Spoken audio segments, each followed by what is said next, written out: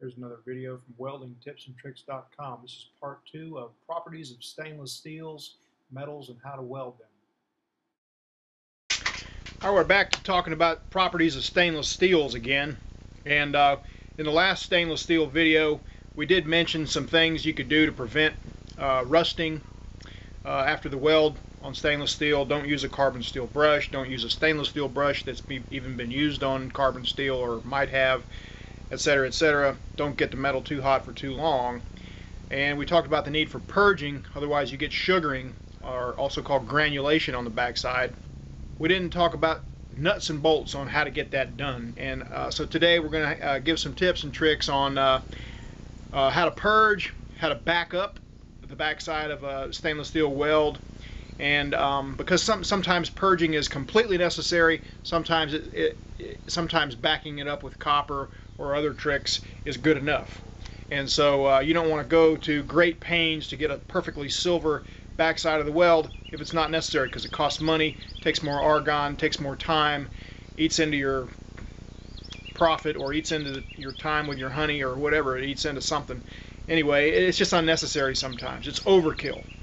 Uh, usually there's no kill like overkill, I know, but uh, sometimes overkill costs too much money when overworking something is bad. So in fact, you know, last last uh, video I said something uh, on the web page about uh, sometimes good enough really is good enough, and somebody wrote me wrote me an email and said, you know what? It said sometimes good enough is better, and that is true. Sometimes good enough is better because uh, you can overwork something to death and it actually be worse than it was to start with, and we all we've all done that.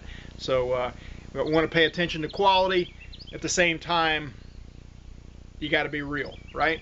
All right, so let's dive into this thing. And I've got an example here, a bunch of little pieces of stainless steel rolled, tacked together. And uh, we want we want to do is use that for an example on uh, on how to purge, how to back up, how to prevent discoloration, and, and whatever else comes on. So let's do it. All right, so we've got here is uh, five pieces of 16 gauge rolled 304 stainless steel. And the fifth one must have been shorter or something because in order to fit up, it's got about a quarter inch gap in it. So what do we do with that? You know, ideally we could tape the ends of this thing and purge the whole thing out and get a purge on the back side, but that gap's going to give us fits no matter what. So how do you deal with a gap like that? Well, uh, using some kind of backup material, copper is the preferred thing. But aluminum is the next best thing. And I've got this big piece of uh, heavy wall aluminum tubing here that I kind of set machines on from time to time, and it'll do the trick. So I just got it slid up in there, and it, will uh, it'll it'll provide backing. It'll trap a little argon. A gap that big on uh, 16 gauge stainless steel, it's not going to look good if you try to weld it without some backing.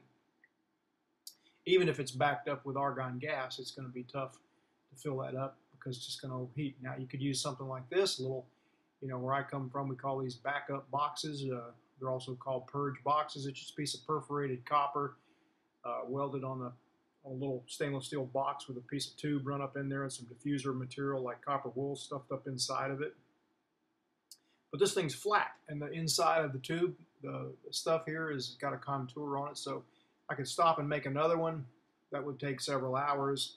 That's usually not not going to work. Uh, another option, I could get a piece of copper tubing like this here. I'm going to use this later on. And uh, with or without argon holes in it, if I, I could, could just use it for backing, clamp it up in there, that would help. That would trap argon. That would uh, give the metal a place to, uh, to rest against. Uh, I've got this, found this old MIG nozzle for machine I don't have anymore. I could use it. I could clamp it up in there, it's about the right uh, radius. I could clamp it and use it for backing, but I don't want to mess up the MIG nozzle. And I've got the piece of aluminum tubing, and it's not uh, not going to be good for much else. So that's what I'm going to use there. I'm going to use this uh, pony clamp here with some extensions welded on it. That's a handy tool for clamping back up to, to things. And I've got two prongs on it on the side that I weld from. That lets me get the torch in there. I can bend them back and forth, narrow, bend them to put them right together or pull them apart and that gives me a place to get the torch in. That's going to hold my piece of aluminum tubing up in there right where I need it to, to make this weld. It's handy. I, I can also puddle stainless steel on the end so I don't contaminate the stainless with it, but all right, it, it's going to work. So I'm gonna I'm gonna attack this uh, the corner here first, and um, that metal's just gonna wet right against that aluminum. It won't melt the aluminum because the aluminum's so thick and takes so much more heat. So it's just gonna rest against there and trap argon, and uh, just kind of give me a trough to uh, so that that weld metal won't sink through like big grapes or anything like that. All right, we'll do a close up here now. That's the close, same thing. Got it tacked up, and uh, basically, I'm only using about a 16th inch, 16th diameter filler rod here.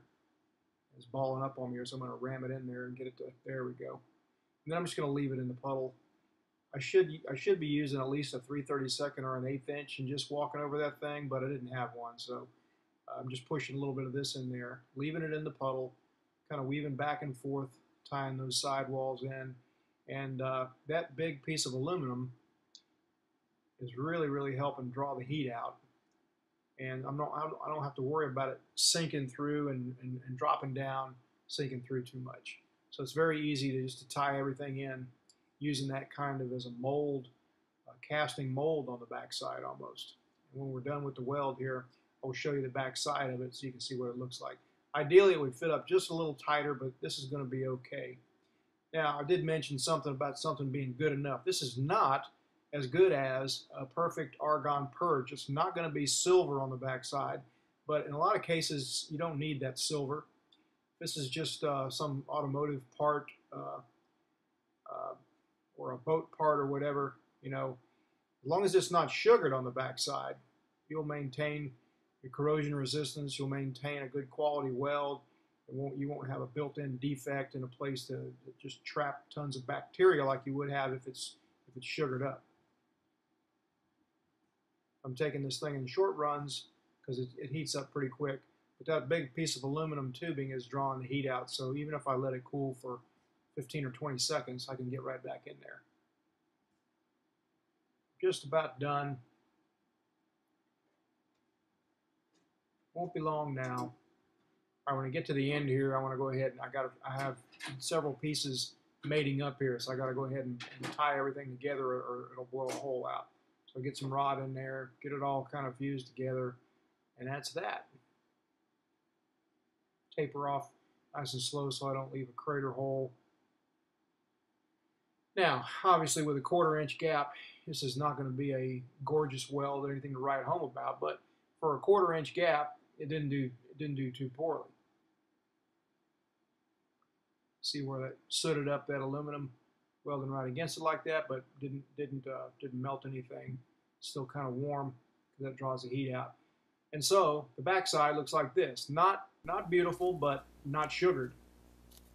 So now we're going to try to use that piece of copper tubing for that long seam, for all those seams that are lined up. And uh, it's just crimped on the end. You could weld it, you could solder it, but it's just easy just to hammer it shut on the on one end and uh, line it up, make a trough out of aluminum foil, several several layers folded aluminum foil mashed up in there to make a nice little trough. And then we're going to use that same little pony clamp with the uh, pieces of rod welded on it to hold it in place with the split tongs on it. Let us get in there, and we'll hook up an argon hose to the uh, to the other end of the uh, copper tubing, and then we'll zip it up.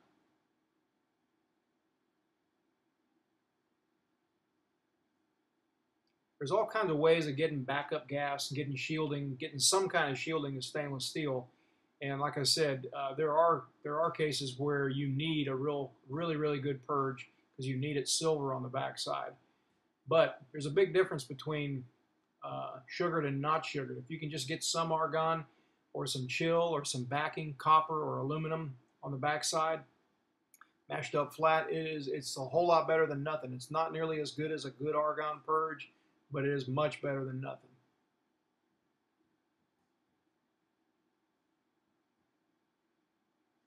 Now you're going to have to have a dual flow meter for, for uh, hooking up external argon gas like this. I've got a twin flow meter uh, Victor gauge I've had for years. It survived a house fire and it's been dropped a time or two and it's still still going good. But you you need uh, if you're going to be purging Uh, using purge gas, there's no way of really splitting the gas from your torch effectively, so you have to have a separate flow meter. You can run off the same bottle of gas, but you have to have a separate flow meter. So those are two ways I showed you, backing solid backing material, and then fabricating something quick and down and dirty to get some argon gas to the backside of what you're welding. Now we'll weld the rest of these uh, joints on the next video. This one's turned uh, too long on us, and uh, some other tips and tricks too. But thanks for watching weldingtipsandtricks.com.